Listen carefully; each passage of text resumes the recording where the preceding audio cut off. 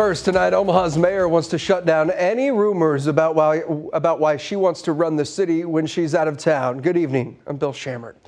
Right now, Jean Stothert has to transfer power when she leaves the city.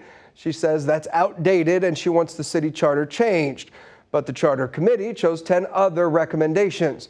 The mayor says that decision appears to be partisan and personal. Stothert is out of town tonight, so KETV News Watch 7's Alex McClune spoke with her by phone. Alex. Yeah, Bill, the mayor tells me she's with family in Cincinnati right now, and a city official confirms that trip lasts through Wednesday. But Mayor Jean Stothert says she should still have the ability to run the city, and she wants future mayors after her to have the same option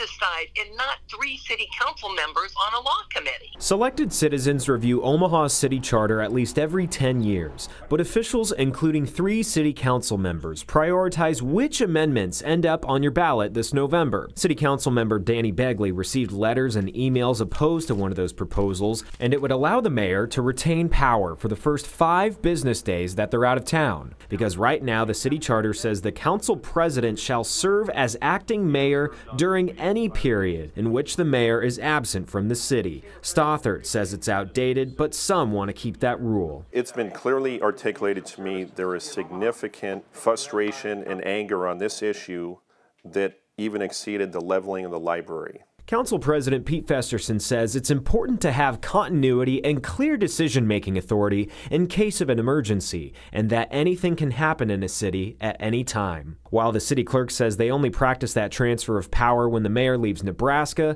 that's another reason why Stothert says it's outdated. We have instant connections now.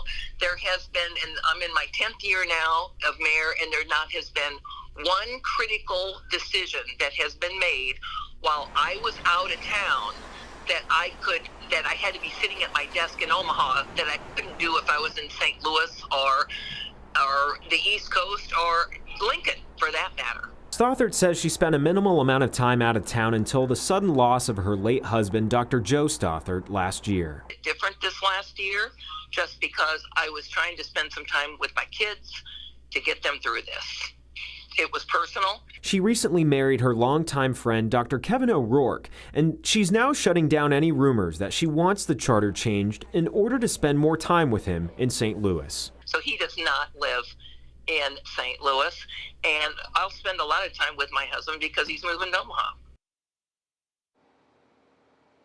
As for those 10 prioritized charter proposals, City Council will take public comment August 16th.